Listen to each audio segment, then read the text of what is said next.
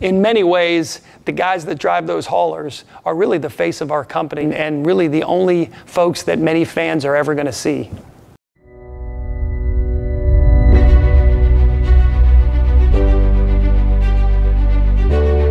On this episode of Racing on the Job, meet our drivers who don't race cars.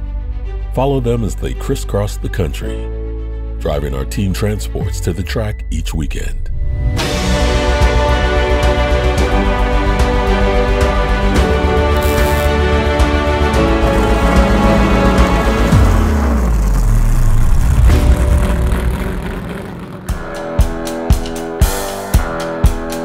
No matter where you stop, there's always people. They don't get to see these trucks all the time, and it's really cool for them to be able to come up and see them. And uh, but it's, it's cool to see the the look on the people's faces when when you show up and you got this this big trailer that's just got the sponsors all over it. It's, it's different than a normal freight trailer. There's there's only 38 of us out there compared to thousands of Swift or JB Hunt or Schneider trucks. So they see it on TV and so for them to see it in, in real life is, is pretty awesome in their eyes. Yeah, they may never make it to a racetrack or you'd be driving through Utah or something. There's no racetrack around there. And that's the closest those, those people will ever get to, to seeing NASCAR, you know, with not on TV. I think the statistic is 5% of all fans actually get to go to a race live. So many fans have only watched it on TV. And when that hauler drives through their state or down their highway, it's awesome. It's a big deal. It's the closest they're ever going to get to their maybe their favorite driver's race cars.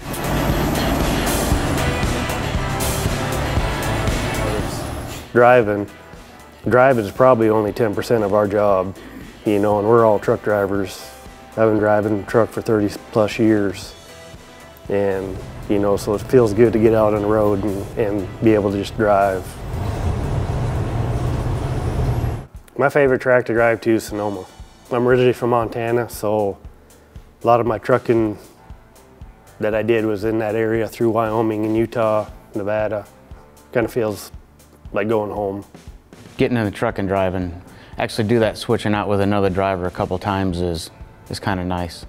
And the scenery, like, like the other guy said out west, is sometimes in the morning or at night when the sun's going down is a scenery that you see once in a lifetime because it's never the same. As many years as all of us been doing this, the sun going up and down is is completely different every day.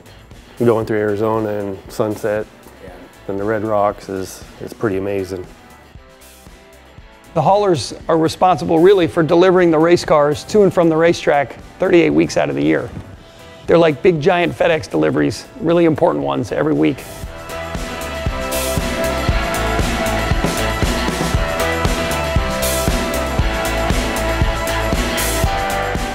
They end up taking the cars from here on a Wednesday, uh, travel two to four hours away or even across the country. A lot of these trips are pretty brutal. Uh, a long way to go and a short time to get there. Uh, you go out to Sonoma and it's, I think, 2,700 miles each way. Drive 11 hours a day, but before eight hours, you have to have a half hour off break which is all done by electronically on your logbook, on your cell phone or, or a tablet. Usually when we drive co-drivers, like out west for California, we do like 10 and 10.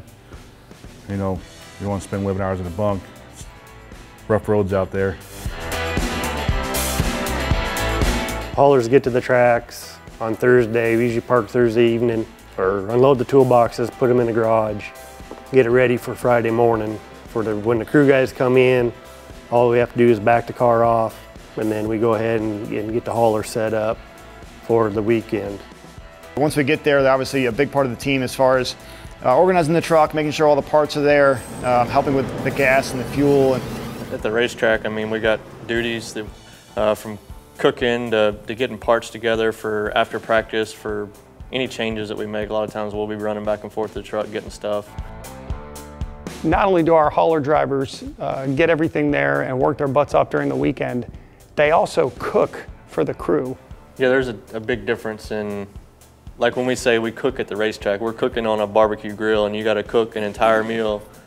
Uh, you don't have running water or a sink or anything like that. You got to come up, try to be creative and figure out what you can cook on the grill. I mean, you can cook brownies or cookies or cakes or You side dishes. you, you can cook anything on a grill. You just got to figure out how to do it and keep from burning it. And remember, some of these races end really late. So whenever the race ends, I can tell you they're the last ones to leave. Usually an hour after the race is over, we're loaded up completely and on the road.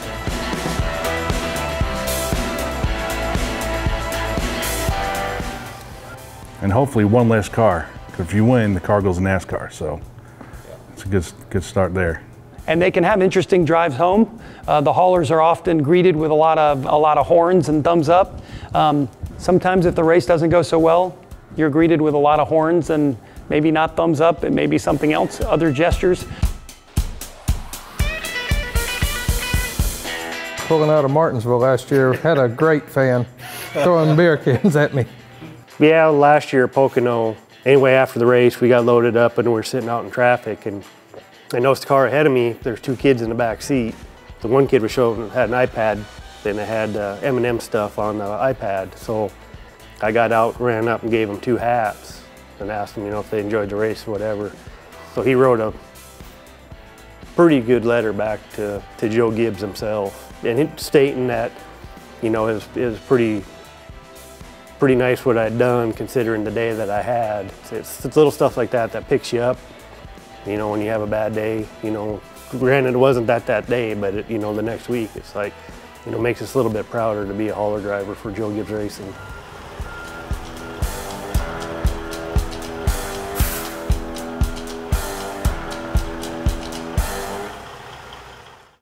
I hope you enjoyed this week's episode of Racing on the Job, where you got to learn a little bit more about uh, the guys who drive these awesome haulers that are behind me up and down the road every week. And before we sign off, want to give a shout out uh, to these five guys. So, for the first time in history, one organization swept the top five positions of the annual Hauler Driver Challenge. So, this is a season long battery of, of driving tests, written tests that figure out who's the best of the best. And not only did, for the first time, one organization sweep the top three with Thumper and Slim and Ken, uh, but Montana and Josh with the stunt double over there, Miko, uh, rounded out the top five with one organization winning top five. So these guys get it done. Um, it's world domination for JGR hauler drivers, and we're really proud of them. Thanks for watching.